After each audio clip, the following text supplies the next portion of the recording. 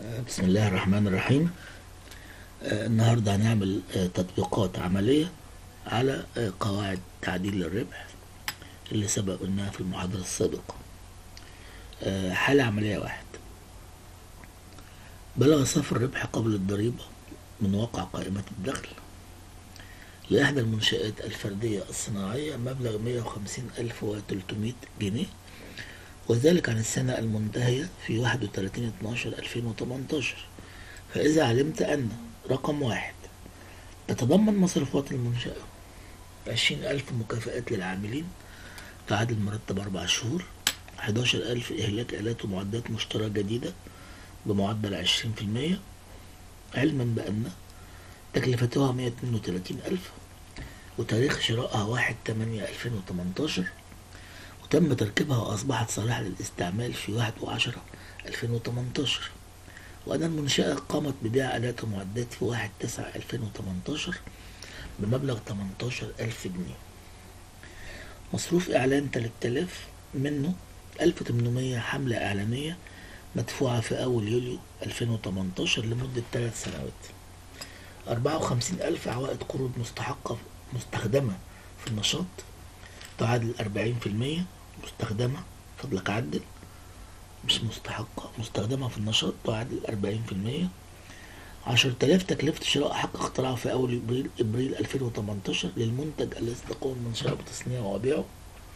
خمسة خمسمية تبرعات منها أربعة آلاف لجمعية خيرية مصرية معترف بها والباقي لورثة أحد العاملين خمستاشر ألف جنيه مكافآت ترك الخدمة.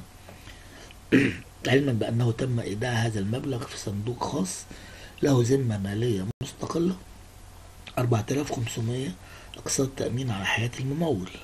بقية البيانات تتضمن إيرادات المنشأة 1500 فوائد تأخير من بعض العملاء. 8000 ديون معدومة محصلة لم يسبق اعتمادها بمعرفة مأمورية الضرائب. 11000 جنيه عوائد ودائع بالبنك الأهلي. 20000 جنيه إيجار مخزن مملوك للمنشأة. ومؤجر للغير بمبلغ 2000 جنيه شهريا. ثلاثة معلومات أخرى. آه، بلغ أساس الآلات والمعدات في أول يناير 2018 مبلغ 90000 جنيه. بلغ سعر الائتمان والخصم المعلن لدى البنك المركزي في أول يناير 2018 نسبة 19 في المية. طيب. آه، خد بالك من الكلمتين دول. إحنا بنعمل كشف تعديل الأرباح. الصفحة دي هتسيبها فاضية أساسا. لأن أنت بتبدأ تملاها إمتى؟ بعد ما تكتب ملاحظاتك على الحل. فسيب صفحة فاضية؟ ونبدأ نقرأ ملاحظاتنا على الحل. بند بند في السؤال. هقرأ ملاحظاتي عليه وأبدأ آه، أتناول. أول بند كان جالك في السؤال بيقول لك أهو. رجعت للسؤال. تتضمن مصروفات المنشأة عشرين ألف مكافآت للعاملين تعادل مرتب أربع شهور.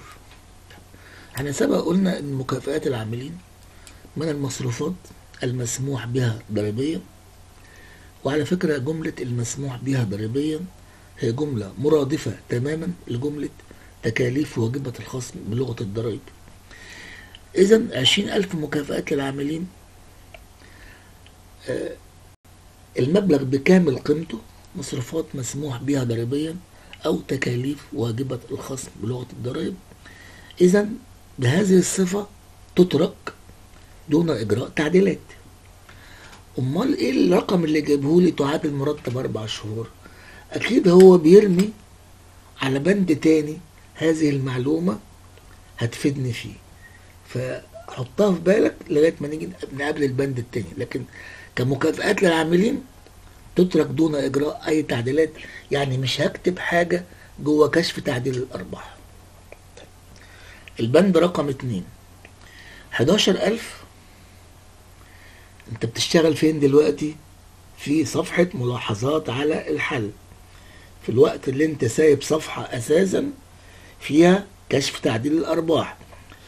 مصور الكشف أو مسطر الكشف وسايبه فاضي. هنملاه إمتى؟ بعد ما أخلص كل ملاحظاتي على الحل. البند التاني 11000 جنيه إهلاك آلات ومعدات مشترية جديدة بمعدل عشرين في المية تكلفتها مية اتنين وتلاتين وتاريخ شرائها طبعا هذه التواريخ لا قيمة لها. هتبقى هذه التواريخ هامة فقط بالنسبة للمجموعة الأولى من الأصول الثابتة اللي هي مباني وإنشاءات وحقوق آه معنوية أو أصول معنوية. لكن بالنسبة لمجموعة اللي بتحسب إهلاكها وفقا لطريقة أساس الإهلاك هذه التواريخ كلها غير هامة. تكلفتها 132 ألف وتم تركيبها وأصبحت سهلة للاستيعاب. كل الكلام ده ما يهمنيش. طب أمال يهمني إيه؟ يهمني الجملة اللي هقولها عليها دلوقتي.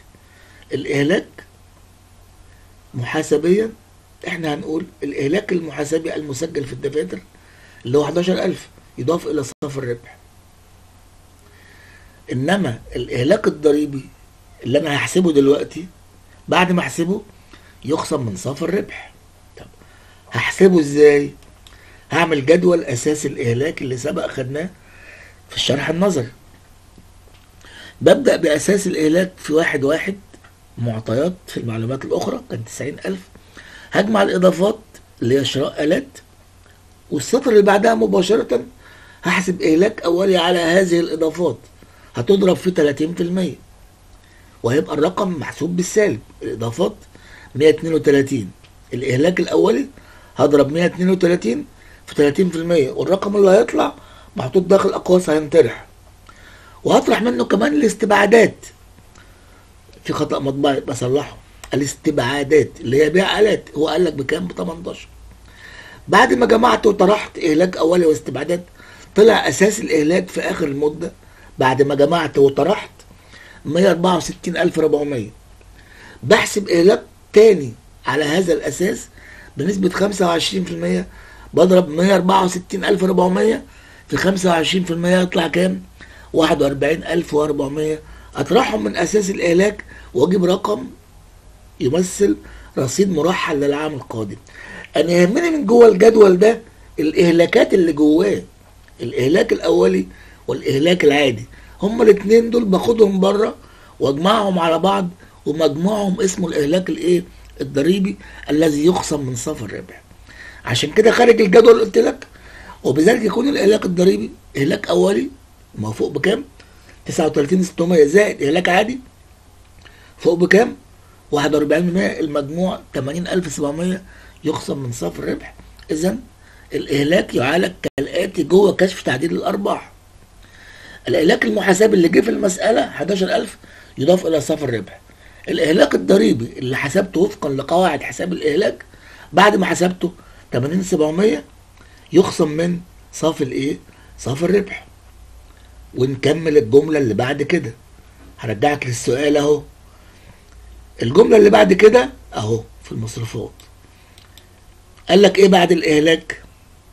مصروفات إعلان وهكذا أنت تمشي بند بند جالك تعمل ملاحظاتك عليه وتعلق. طيب خلصنا الاهلاك هنشوف موضوع مصروف الإعلان. كام مصروف الإعلان؟ هو قال لك 3000 والرقم ده جواه 1800 في صفر الزيادة 1800 حملة إعلانية تخص ثلاث سنوات تبدأ في 1 7 2018 ده 1800 من أصل كام؟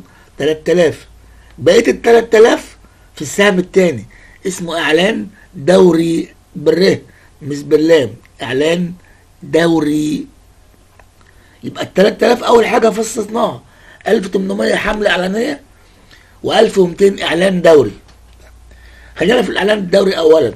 الإعلان الدوري اللي هو 1200 يعتبر من التكاليف واجبة الخصم لأنه أكيد مرتبط بالنشاط. وبالتالي يترك. يعني ال 1200 لن تدخل في تعديل الأرباح.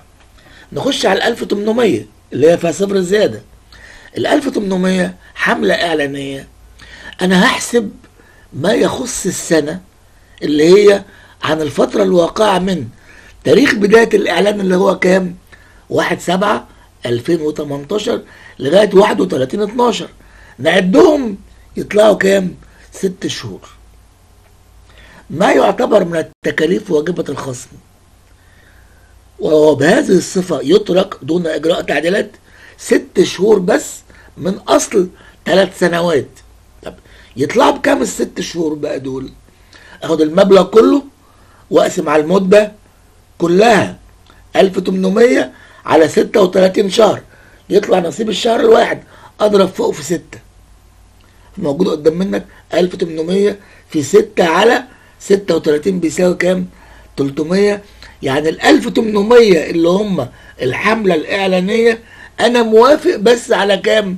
300 ويبقى بقية ال 1800 اللي هي ال- الفترة ما بعد 31 12 2018 ما بعد انتهاء السنة. الحالية ماليش دعوة بيها. مصروف مدفوع مقدما. يسموه كده في المحاسبة كون أنه لا يخص السنة إذا لا يعتبر من التكاليف واجبة الخصم إذا يضاف. إذا التحليل النهائي للمصروف الإعلان اللي هو 3000 الدوري سبته باعتباره مرتبط بالنشاط. طب الحملة الإعلانية قسمتها جزئين. ما يخص السنة محل الفحص 300 تترك دون إجراء تعديلات. وما زاد على ذلك اللي هو ال 1500 كون أنها مصروف مدفوع مقدما يخص سنوات قادمة إذا آه لا يخص السنة. مكتوبة لا يخص لا يخص السنة. إذا يضاف إلى صافي الإيه؟ الربح يعني كل الموضوع ده خلاصته هناخد 1500 نضيفهم إلى صافي الربح. باقي العناصر تترك. تمام؟ طيب. بعد كده الجملة اللي بعدها في المسألة كان بيتكلم على عوائد القروض المستخدمة في النشاط. كانت 54000 هو كان قايل لك إن الرقم ده العوائد القروض المستخدمة رقم 54000 ده يعادل 40% من أصل القرض. يعني القرض مضروب فيه عائد بمعدل كام؟ 40% يعمل الرقم اللي جالك في المسألة اللي هو 54000 مش إحنا اتفقنا إن العوائد المسموح بها تكون في حدود مثلي سعر الائتمان والخصم المعلن من البنك المركزي؟ عشان كده جاب لك إن سعر الائتمان والخصم 19% مثلي يعني قده مرتين. 19 في 2 تعمل كام؟ 38% إذا جزء من العوائد ال 54000 هيبقى مسموح به اللي هو في حدود مثلي سعر الائتمان والخصم.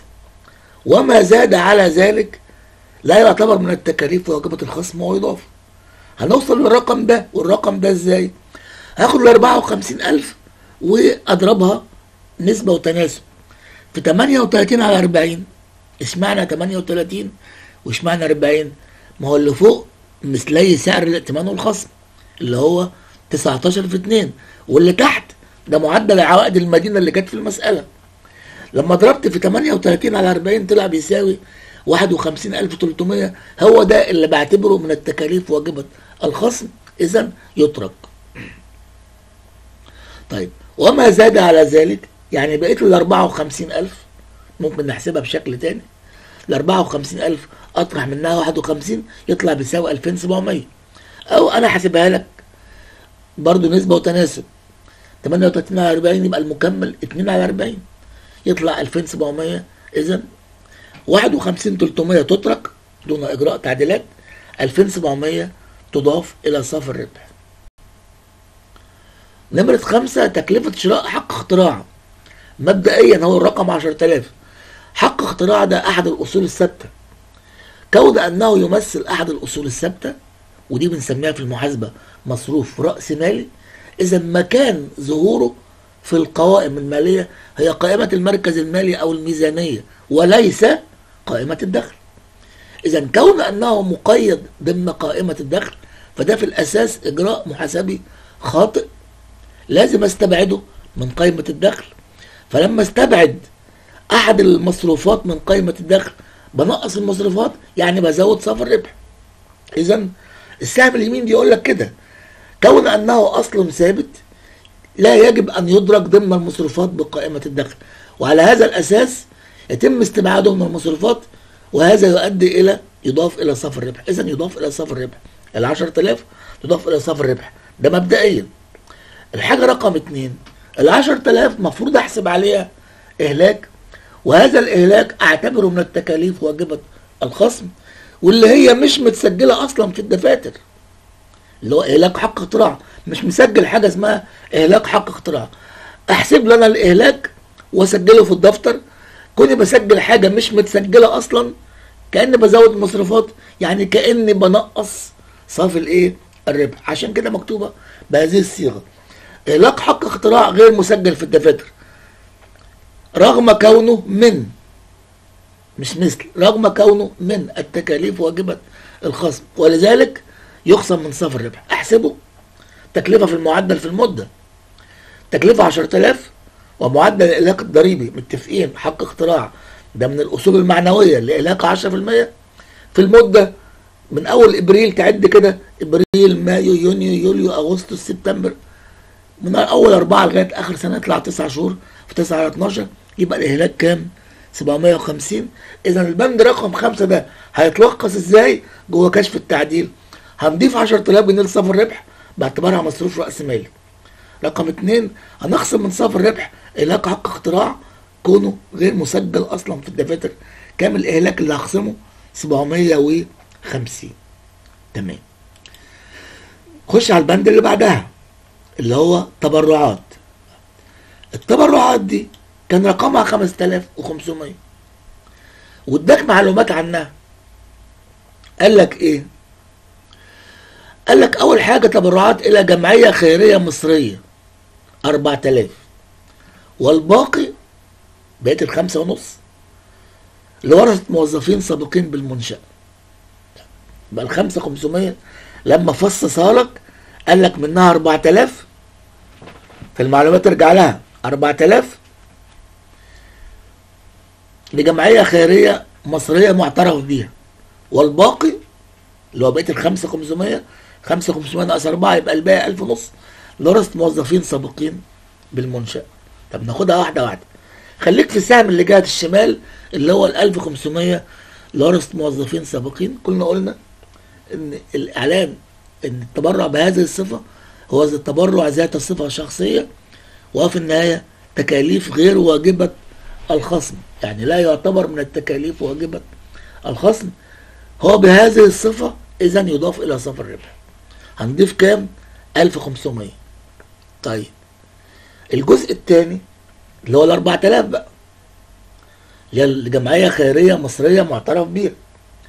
هو الكلام العام بيقول تكاليف واجبة الخصم بشرط أن تكون في حدود 10% من صافي الربح المعدل. هذه الجملة لما نفكها كإجرائيا بقى بتتعالج إزاي أثناء عمل كشف التعديل؟ أهو ألف يضاف مؤقتا لصافي الربح كام؟ 4000 وأقول يضاف مؤقتا. وكمل الحل لغاية ما أوصل إلى صافي الربح المعدل. بعد ما أوصل لصافي الربح المعدل أحسب الحد المسموح به للتبرعات. هو عبارة عن حاصل ضرب صافي الربح المعدل في 10 على 110 بعد كده أقارن ما بين المضاف مؤقتا والمسموح به وأيهما أقل هو اللي بيخصم من صافي الربح فأنا حتى الآن هنعمل الخطوة رقم واحد يضاف مؤقتا لصافي الربح والخطوة ب وج هنعملهم إمتى؟ بعد ما اخلص كل التعديلات واوصل إلى صافي الربح المعدل. ففي اجراء هعمله دلوقتي واجراء تاني هأجله وهيتعمل بعد ما اوصل إلى صافي الربح الايه؟ صافي الربح المعدل. طيب. البند اللي بعد كده مكافآت ترك الخدمة اللي هو آه مساهمة الشركة في صندوق آه الزمالة اللي هو آه اتفقنا إنه صندوق الزمالة ده الحد المسموح به في حدود عشرين في المية من المرتبات السنوية للعاملين. آه. طالما وصلت للمرتبات السنوية هو ليه في أول بند جابهولك قال لك المكافآت؟ هجيب لك السؤال أهو. المكافآت عشرين ألف؟ تعادل مرتب أربع شهور. إيه هدفه من كده؟ هدفه إنك تقسم عشرين ألف على أربع شهور. يقوم يجيب لك المرتب الشهري للعاملين كام؟ 20000 على 4 بيساوي 5 الحد المسموح به للصندوق 20% من المرتبات السنوية للعاملين. هتفيدني فين؟ في الجزئية دي. فهروح بقى عشان اكمل.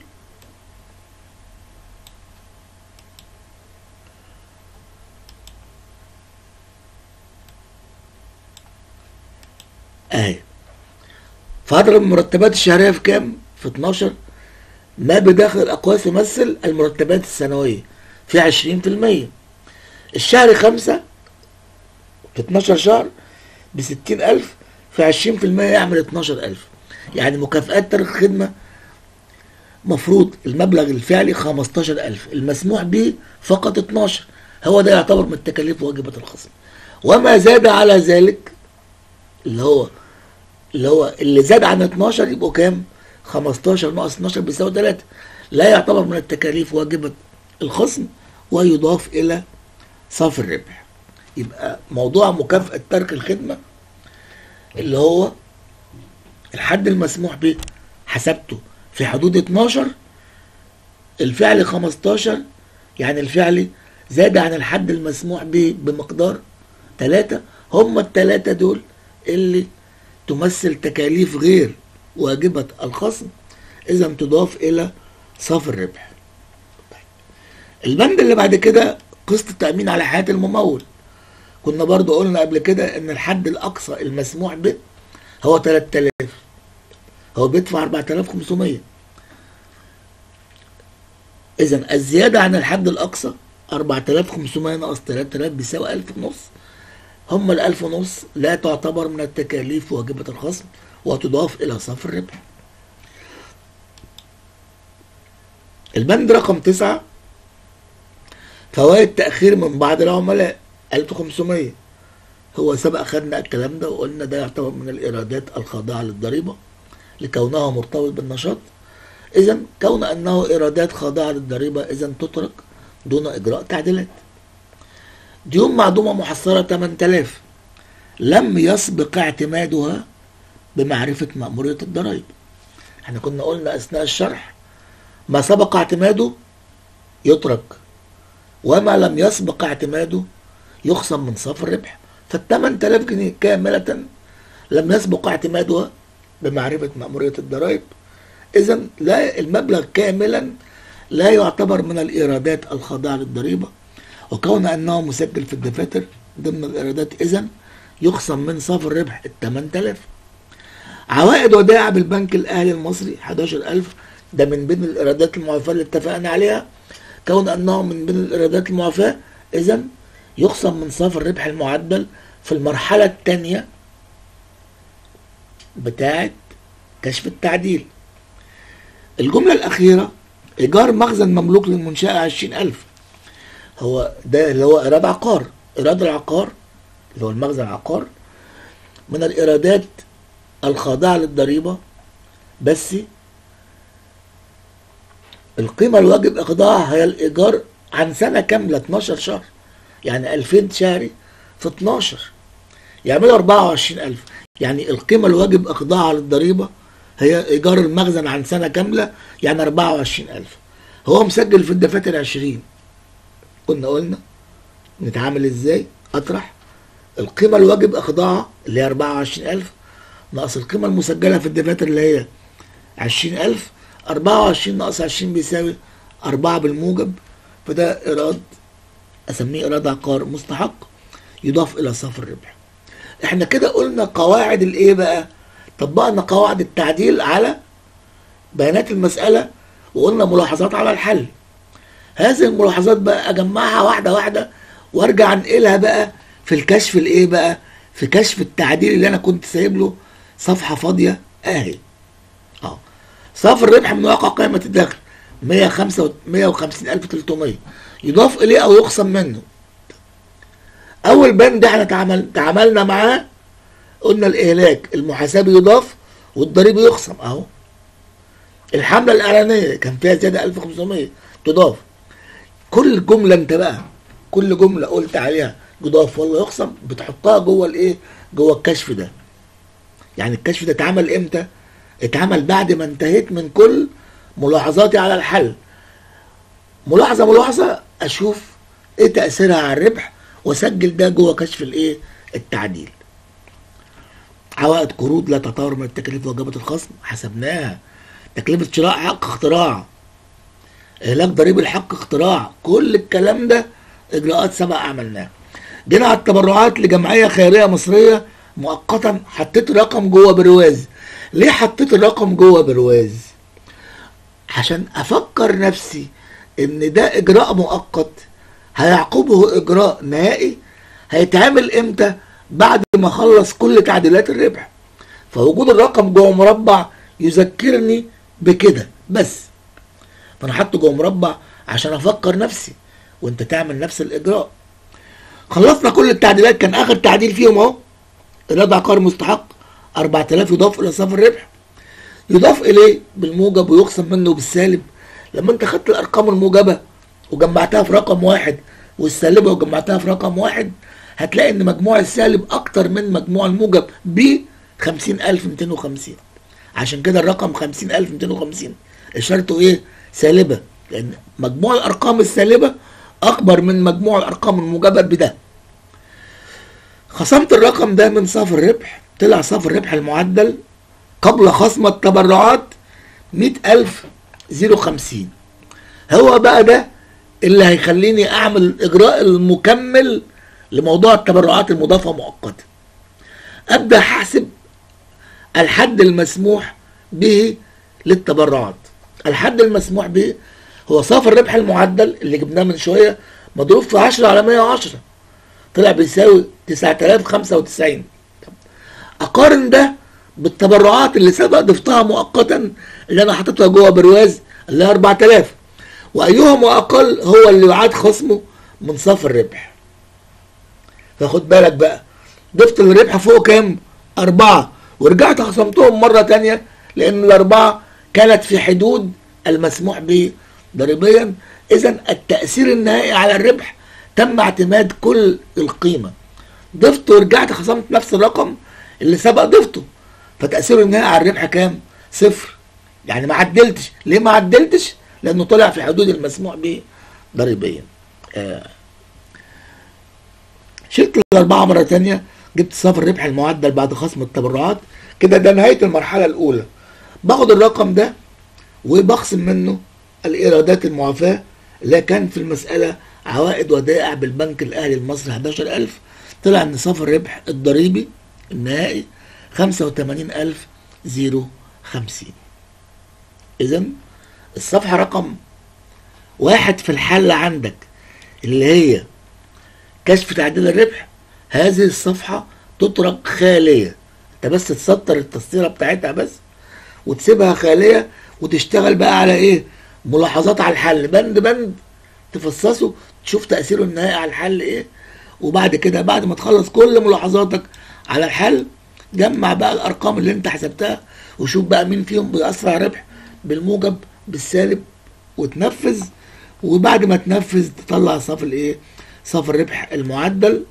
كان من بين السؤال في تبرعات فبالتالي اسمه صافي الربح المعدل قبل خصم التبرعات.